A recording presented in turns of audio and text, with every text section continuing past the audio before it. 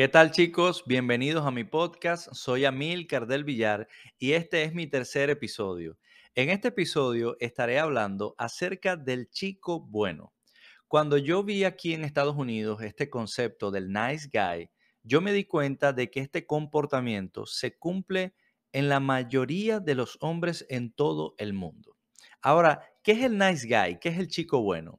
Bueno, es un ideal que todas las sociedades alimentan y promueven para mantener al hombre controlado. Este ideal lo que dice es que el hombre sea bueno, que el hombre eh, siga las reglas, respete la autoridad, salude correctamente, que el hombre diga lo que es políticamente correcto, para que él no perturbe con sus palabras y acciones su entorno. Y esto ayuda a mantener una sociedad más pacífica, más segura. El problema está en que esto suena muy bien en la teoría, pero en la práctica, a muchos hombres este comportamiento les causa pérdida, no les da los beneficios y no les permite a estos hombres obtener lo que ellos quieren en la vida. Porque ilusoriamente muchos hombres creen que al tener este comportamiento, la vida o las personas a su alrededor, en su entorno directo, les van a retribuir a ellos con las cosas que ellos quieren para su vida.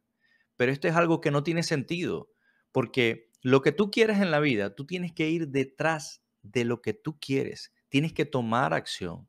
Nosotros los hombres nos colocamos una meta, vamos detrás de esa meta y superamos los obstáculos. Pero el chico bueno tiene miedo del qué dirán. El chico bueno tiene miedo de que hablen de él. Y por supuesto que cuando tú vas detrás de algo que tú quieres, Muchas personas también quieren eso y van a competir contigo o van a hablar mal de ti para paralizarte o simplemente no les gusta a otras personas lo que tú estás haciendo y van a buscar paralizarte, van a buscar pararte. Pero si tú vas detrás de lo que tú quieres, y tú obtienes lo que tú quieres, ¿qué te importa a ti lo que digan los demás? Tú estás ganando porque tú estás obteniendo lo que tú quieres para tu vida. Y de eso se trata la vida, de que tú construyas lo que tú quieres para tu vida. ¿Qué te importa a ti el que dirán otras personas si tú obtienes lo que tú quieres? Ejemplo, hay una chica que te gusta, está muy buena esa chica, y tú te acercas a ella, le quitas el número, haces una cita, la segunda, tercera cita tú te estás acostando con ella. ¿Qué te importa a ti el que digan los demás? Por supuesto que van a haber muchos hombres que también quieren esa chica quieren competir contigo, van a hablar mal de ti, van a ser un obstáculo para ti, para que tú no lo obtengas. Pero si tú te estás acostando con esa chica, tú ganas. ¿Qué te importa a ti el que dirán? ¿Qué te importa a ti tus amigos? Si ellos se molestaron, eso no son amigos. Entonces, el chico bueno siempre termina de último porque está paralizado por el miedo, no toma acción. No gana con las mujeres hermosas, no gana en los negocios, no gana en las oportunidades laborales. Y la mayoría de los hombres del mundo tienen ciertas características de el chico bueno. Yo he visto personas que han perdido su vida por simplemente no tomar acción. Y eso es algo muy triste que tú como hombre no te puedes permitir.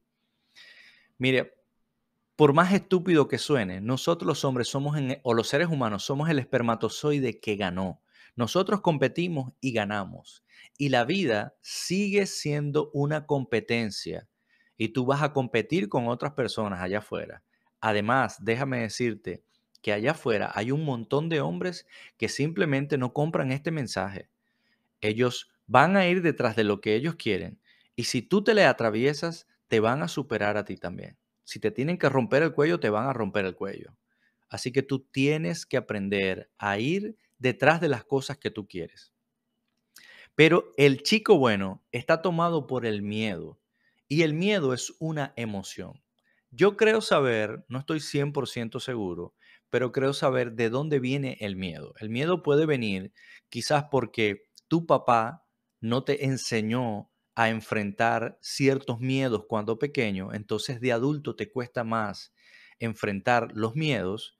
Quizás tuviste una mala relación con tu papá, no estuvo presente, estuvo presente pero silenciado por tu mamá o cualquier situación. Es posible que por eso tú no sepas manejar esta emoción.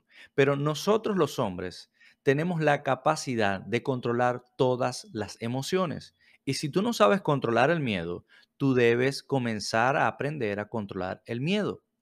El miedo es una emoción que te coloca falsos escenarios y como tú tienes miedo del escenario negativo, el cual tú no quieres, tú no tomas acción.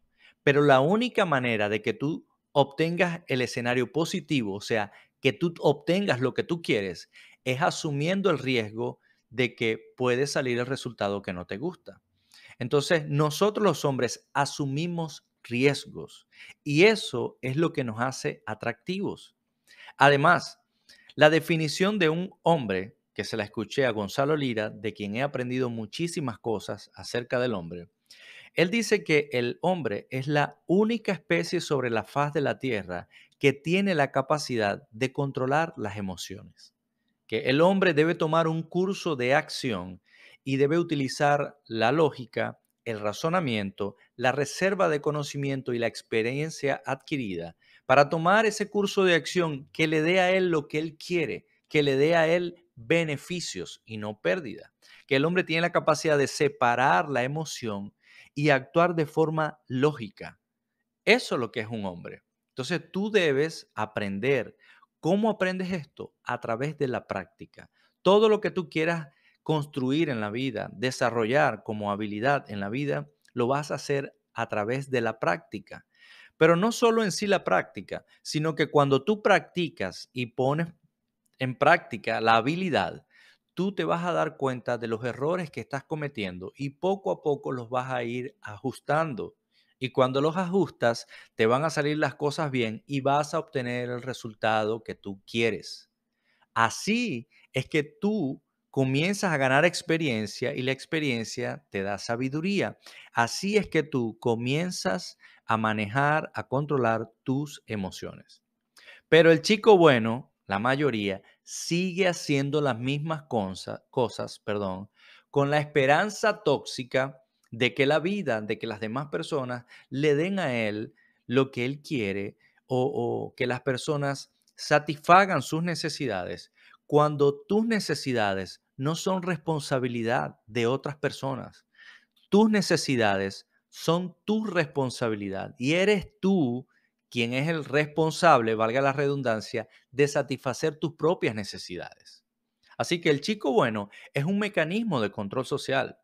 Y tú no puedes permitir que un mecanismo de control social, que una moralidad, que un grupo de personas, que un grupo de familia, que una fe, te limite a ti de ir detrás de las cosas que tú quieres. Tú no puedes permitirte eso porque tú estás recibiendo pérdida por encajar en un grupo, porque alguien no hable de ti. Si tú obtienes lo que tú quieres para tu vida, tú estás ganando. A ti no te importa el que dirán, a ti no te debe importar más nada, más que tu propia vida, porque así es que vas a construir tu vida. En pocas palabras, tu deseo por obtener lo que tú quieres para tu vida tiene que ser mayor al deseo de conformarte a un grupo de personas o a una sociedad. Y créeme que yo he visto hombres que lamentablemente han perdido su vida por esta información. Así que yo espero que tú comiences a tomar acción y así es que vas a obtener resultados. Nosotros los hombres tomamos acción y vivimos con los resultados y aprendemos. El fracaso te enseña el éxito se disfruta y se comparte. Así que toma acción, rompe con estas cadenas del chico bueno y ve detrás de las cosas que tú quieres en la vida. Ese es todo el mensaje en este podcast. Así que si te gusta este podcast, por favor, regálame un like, suscríbete a mis redes, activa las campanitas de notificaciones para que cuando suba otro podcast video te llegue inmediatamente la notificación. Nos vemos en el siguiente episodio. Bye.